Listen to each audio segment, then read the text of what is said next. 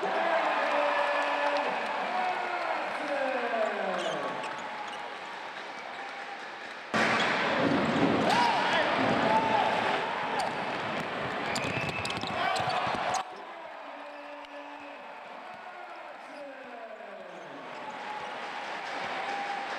Instead launches the three way short. Dominique the rebound. Out ahead it goes to Craft. Craft bounce pass and Darington Hobson lays it in. 81 59. Santa Cruz trying to put away the Stampede for good.